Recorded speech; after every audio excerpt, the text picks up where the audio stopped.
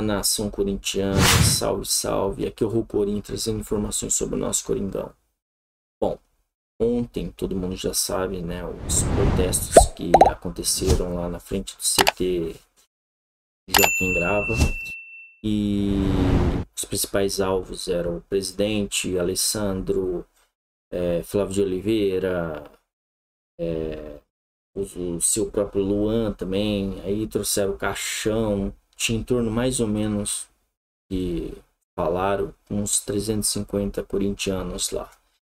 É... Tá. Fizeram lá o protesto. O seu Vanderlei Luxemburgo saiu, né? Ele se meteu no meio do povo mesmo para conversar. Achei esse ato super bacana. É... Tem que dar volta pro cara, que ele tá dando a cara etapa, se bem que assim, é, na época também que ele, é, em 98, ele teve algumas questões mesmo que ele colocava a cara para bater. Então, assim, tirando essa parte, ele ele pediu para a torcida, quando eu tava lá conversando, né, com os corintianos e tal, para 10 jogos. E 10 jogos ele vai fazer esse time jogar. Então, assim, querendo ou não, a gente tem que confiar nele. Ele é um bom técnico e eu tenho certeza absoluta que ele é, vai dar certo no Corinthians. E ele vai conseguir arrumar esse time. É, agora, a gente não pode esquecer, óbvio, do presidente e do resto, né? Essa companhia. Fez certo de cobrar mesmo, que tem que cobrar mesmo, que é uma palhaçada. Eles ganham muito dinheiro para eles, eles estarem fazendo pouco serviço. E, e aí ontem também teve uma bomba, né? Do seu Flávio de Oliveira, né? Nosso ex-preparador físico, já que entrou o Antônio Melo do, do Vanderlei.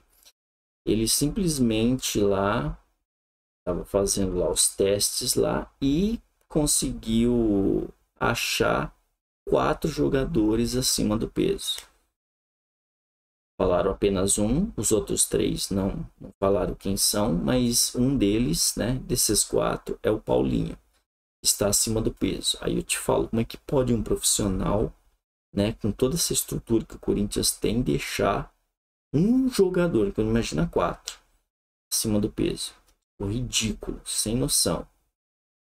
Seu esse Duílio tá de sacanagem trazer ter trazido esse cara de novo para o Corinthians, né? Ele já tinha saído com o VP e aí o VP sair ele trouxe novamente. Pô, ridículo isso. Enfim. Por isso que o protesto tá aí, né? Não precisa nem falar. E, e aí ontem mesmo é, o, teve lá os treinamentos em campo e tal. E o time para esboço, né? Que Assim, ele tá basicamente, o Vanderlei Luxemburgo ele tá dando a vaga do Yuri Alberto para o Pedro, né? E realmente acho que o Yuri vai para o banco. E já contra o Fortaleza na segunda-feira já é bem capaz do de ter o, o, Pedro na esquerda, né? E na ponta esquerda e o, na direita o Adson e querendo ou não Murilo. E ele também está vendo outros jogadores, né? É, da base. Porque é, até falando de base, o, o, o, Luxemburgo ele trabalha muito bem com a base. Eu lembro que em 98 ele deu oportunidades para alguns jogadores. Em 2001 também. E assim, ele, querendo ou não, ele chegou a revelar na, na nossa base, né? Em outros times ele revelou pra caramba mas na nossa base ele revelou o Everton, é, revelou o Edu, né? Ele que era do Arsenal, é, revelou o Kleber, que era lateral esquerdo, né? De, de 98, 99 e 2000. E, e revelou o Índio, o Índio também. E teve mais um que eu não, não, não lembro. Mas assim, enfim, ele revelou esses jogadores, quando ganhou uma boa grana com eles. E, e assim, não, não tenho o que falar sobre o, sobre o Vanderlei Luxemburgo. Ele é muito capacitado. E foi o que eu falei, eu tenho certeza absoluta que ele vai conseguir mudar essa, essa coisa do Corinthians. Corinthians! Bom, e, e ontem, ontem à tarde, foi é, a CBF, né, emitiu a, uma nota desconvocando o Pedro.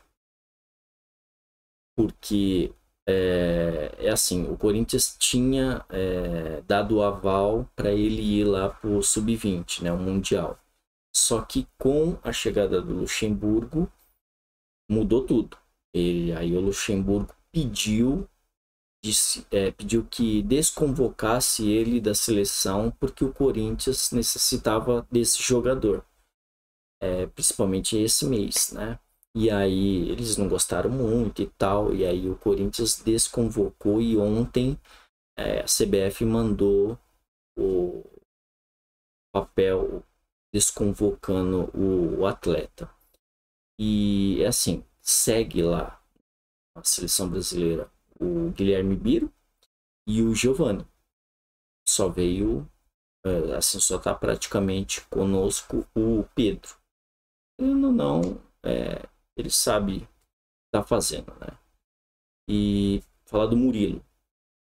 O Murilo, ele chegou a receber algumas propostas, recebeu até do Servilha, e ele simplesmente, até no Paulista mesmo, teve um time paulista aqui que queria ele para jogar no Paulistão. E não foi o Corinthians que cedeu, ele não quis. Ele quis apostar em, em ter uma chance para jogar. E ele chegou ainda a ser a, a quinta opção. Imagina, ele estava até atrás do Caetano, o zagueiro Caetano, né, que está contundido ainda. E, mas assim, é, para você ver o cara, né? E agora ele simplesmente se torna é, basicamente titular. Contra Fortaleza mesmo, é, tudo está levando que ele vai ser o titular, junto com, com o Gil. Achei isso é, muito bacana. Também teve um outro jogador, é, só que eu acho que em 2021, que era o, o João Gabriel. É, ele foi negociado com a Roma. E novo, né? Ele tinha o quê? 16 anos. Agora ele tem 18. E, e ele ficou lá. Ficou lá, o Corinthians ainda tinha é, direitos dele, ainda tem 30% dele. E simplesmente ele está estourando lá, ele está com 18 anos agora.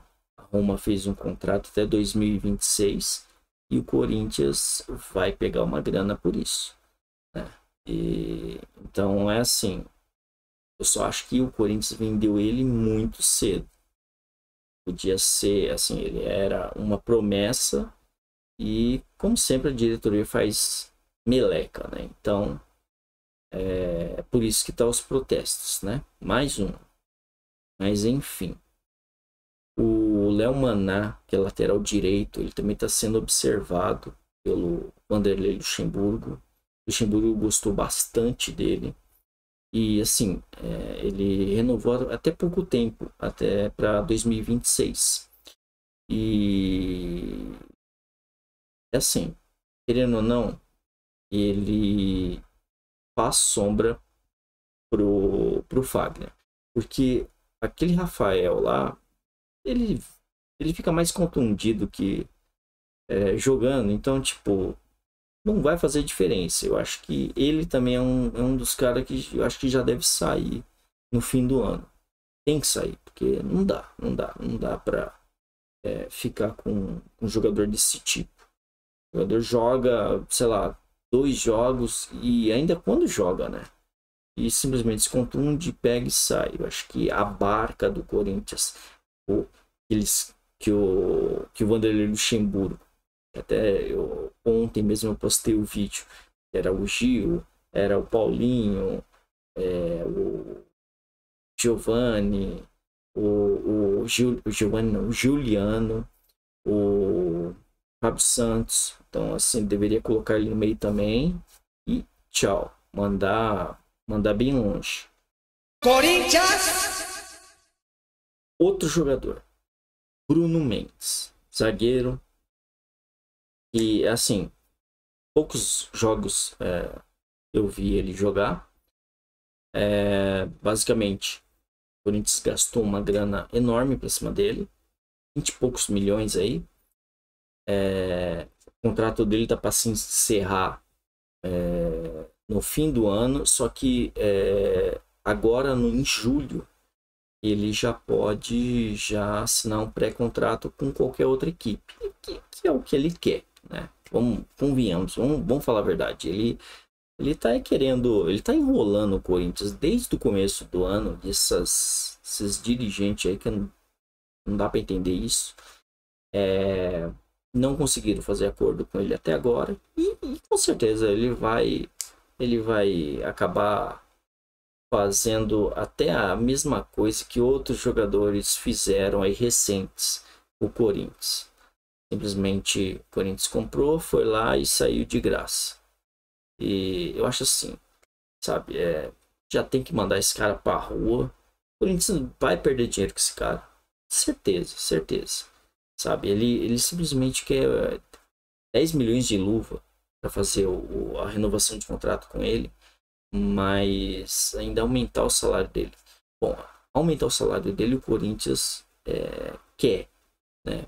Pela renovação. Só que ele quer 10 milhões de luva. Mano, tô na boa. Ele não vale isso. Ele não, não vale isso. Não vale, não vale, não vale. E eu acho, eu acho que é, é, é muito estrelinha para pouco, pra pouco jogador. Mas enfim, o Corinthians tem que é, ver isso aí direito e a gente pode querendo não tomar acabar tomando chapéu desses colorado aí, né? É, porque com certeza ele quer jogar lá. Por isso que eu falo que o Corinthians, sabe, já tinha que se desfazer dessa porcaria desse jogador e sabe mandar ele bem longe, bem longe do Corinthians. E ou como outros também, mas enfim. E, e aí ontem também teve a apresentação lá do Maurício Cupertino, né? Ele falou bastante coisa, achei bacana o conversa dele. Teve a conversa dele e do Antônio Melo. É, eles falaram tal bastante coisa. Achei super bacana. Pô, vocês ficam aí com o vídeo aí, com eles falando o Corinthians e tal. E do que eles pensam, né? Mas é isso. É, a gente fica por aqui hoje. Agradeço a vinda. Senta o dedo no like, se inscreva e até a próxima. Valeu. Muito boa, muito legal. Mas eu tenho a minha mão, minha característica, a minha exigência no treinamento é muito forte.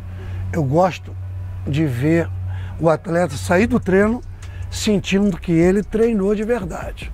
Isso é uma exigência minha é o meu comprometimento com o treinamento. Eu vejo um grupo que tem potencial muito grande e uma resposta rápida vai acontecer. Mas para isso a gente tem que estar tá, é, galgando passo a passo, subindo essa escada devagarinho, porque não adianta eu querer chegar lá em cima antes de eu fazer as etapas certinhas da velocidade, da força, da resistência com cuidado e, e vendo a resposta de cada um, porque a coisa mais importante é diminuir a lesão. Aqui não tem lesão, aqui não tem ninguém no DM, a não ser o Renato Augusto, que vem de uma cirurgia. O grupo está todo pronto para treinar no campo. E esse cuidado que eu tenho que ter com o condicionamento. O condicionamento é global. Não adianta eu achar que um velocista. Ou... Não, eu tenho várias valências e tenho que ter cuidado com todas e chegar a um condicionamento equilibrado, coerente, para que esse, esse grupo ataque e defenda com a mesma intensidade. Eu vou te contar, mas eu tenho que te contar, porque eu estou falando com o coração. Eu não tenho palavras medidas. Fui a Aparecida do Norte e agradeci muito. Não vai me fazer chorar. Foi mesmo, de verdade.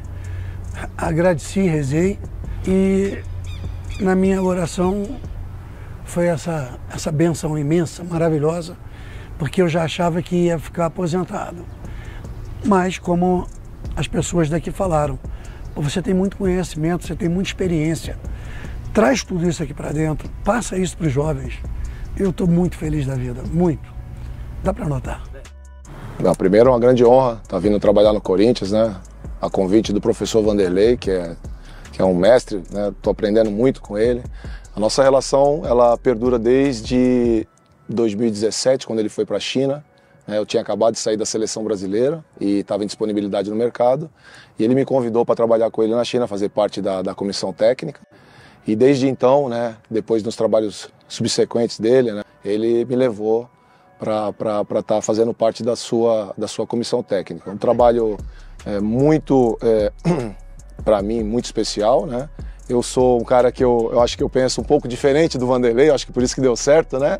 E, e a gente tem uma sintonia muito legal, muito bacana, é muito fácil trabalhar com ele. Tenho dado suporte para ele na parte tática, na parte é, técnica, é, como um auxiliar técnico deve fazer, né? Então tem sido assim desde então de olhar para a base também, sempre estar tá procurando fazer essa interligação que ele gosta muito e dar o suporte para ele em todas as áreas, né? Todo esse suporte que a gente tem que dar para o treinador, né? É, inclusive o Fernando também faz parte com, comigo, já integrei ele comigo, vai ser o cara, cara do clube que, na minha concepção, tem que estar junto comigo ali, né, para me ajudar. A gente não faz nada sozinho e, consequentemente, dá esse suporte de informação, de trabalho de campo, é, de análise do adversário junto com a rapaziada do vídeo, que é muito importante, né? Então fazer esse filtro todo para chegar no Vanderlei mais tranquilo, com a linguagem que ele gosta que, que eu fale para ele.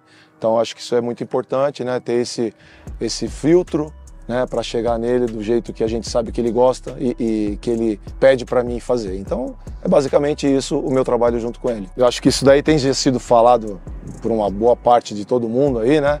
E, e os jogadores é, não são diferentes. Acho que essa relação comissão técnica com o jogador, primeira coisa é resgatar a confiança deles, né? Passar coisa importante para eles. Muitos jogadores já têm uma história lindíssima dentro do clube, para dar o suporte para eles em toda todas as situações a iniciar agora contra o Fortaleza, um jogo importante, contra uma equipe difícil, mas nós estamos jogando dentro da nossa casa, com a torcida que a gente sabe que faz uma baita diferença, com jogadores que são jogadores vencedores é, a gente estava até conversando aqui, né? Existem momentos na vida de todo mundo, momentos bons e momentos ruins.